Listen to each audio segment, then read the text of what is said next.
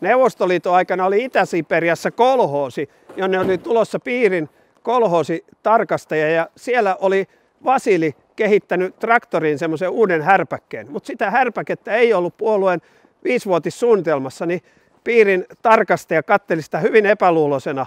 Ja Vasili näytti, että kato miten toimii ja helpottaa työnteko. Niin sitten puolueen lähettämä piirin kolhoositarkastaja sanoi, että toimii kyllä käytännössä, mutta entäs teoriassa?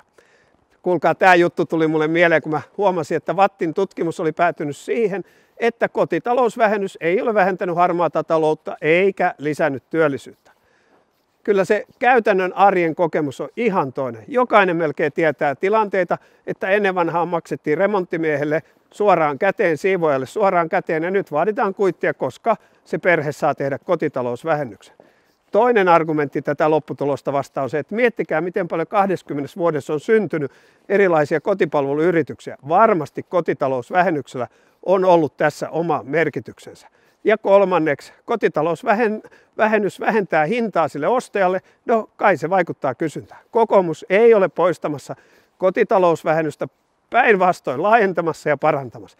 Sen lisäksi Sitran mallin mukaan olemme esittäneet superkotitalousvähennystä, eli yli 75-vuotiaille, jotta edistettäisiin heidän kotona asumista, he voisivat hankkia hoivapalveluja nykyistä paremman kotitalousvähennyksen turvin ja pienituloisimmille tulisi vastaava tuki, koska he eivät voi tehdä vähennystä, koska eivät maksa veroja.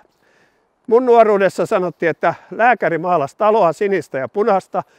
Nyt toivon, että kotitalousvähennys pidetään ja se on maalari, joka maalaa taloa. Toinen juttu. Näittekö eilen torstaina Ylen puheenjohtajakeskustelussa, kun toimittaja yritti tivata ainakin neljä kertaa Maria Ohisalolta, että mistä vihreät säästäisi. Ja Ohisalo ei vastannut, ei vastannut, ei vastannut, kunnes se vihdoin keksi, että no näitä yritystukia, niin kuin tuota dieselin hintaa tuetaan tämmöisellä verotuella.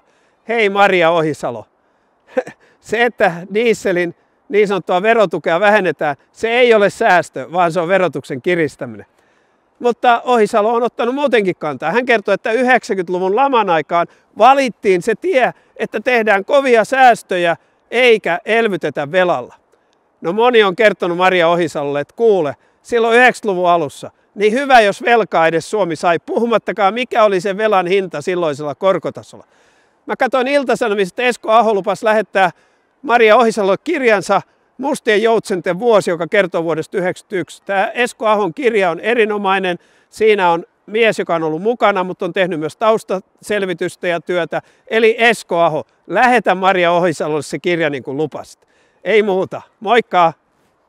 Thank you.